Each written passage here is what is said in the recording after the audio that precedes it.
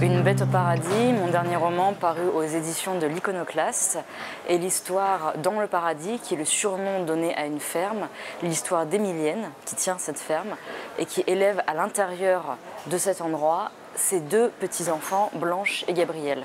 En plus de ces deux petits-enfants, elle recueille un autre garçon à l'âge de 16 ans, qui s'appelle Louis. Il devient le commis d'Émilienne, parce qu'il il débarque dans cet endroit après avoir été cogné par son père et elle lui propose, en échange de ses bons soins, de travailler pour elle. On va suivre la trajectoire euh, de ces quatre personnages et en particulier la trajectoire de Blanche, qui est donc euh, la petite fille aînée d'Émilienne. On va la voir grandir, euh, devenir comme sa grand-mère pour un jour hériter du paradis et tomber très amoureuse d'Alexandre, un camarade de classe. Cette ferme, est euh, copiée, ou en tout cas, euh, elle naît directement d'une ferme qui existe vraiment dans le Limousin. C'est une ferme qui s'appelle la ferme du Châtaignier, qui est un endroit que j'ai un peu connu. Et euh, quand j'ai commencé à écrire cette histoire, je savais que la ferme du paradis aurait la géographie, la topographie, la répartition des troupeaux et des bâtiments de la ferme du Châtaignier. C'était important pour moi d'en parler parce que je pense que hum, c'est un endroit où beaucoup de ma prime éducation s'est joué. Et aussi euh, parce qu'en écrivant ce texte, je me suis dit comment raconter une histoire qui ne sorte jamais de ces limites-là? Qu'est-ce qui va faire que les personnages euh, vont être des prisonniers volontaires du paradis? Qu'est-ce qui va faire qu'ils vont être happés dans ce lieu, tout comme le lecteur ensuite va être happé euh, à leur côté? Pour moi, c'était un défi d'écriture. Les deux personnages féminins, Émilienne et Blanche, c'est la grand-mère et sa petite fille. Euh, ce sont deux personnages féminins très forts parce que ce sont les deux personnages qui sont voués à tenir les rênes du paradis et à hériter des reines du paradis. Euh, Émilienne, par la force des choses, est devenue la matriarche puisque son mari est décédé d'une maladie des poumons.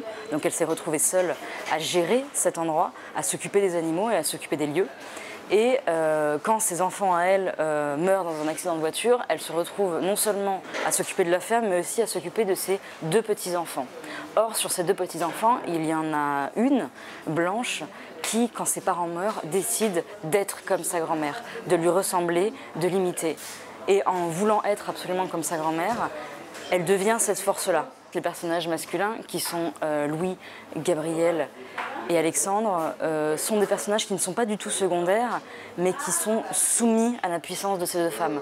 Ce titre, euh, il, a mis du temps à venir. Il y a eu beaucoup d'autres titres euh, qui ont existé avant celui-là pour parler de ce livre, mais aucun ne m'allait complètement.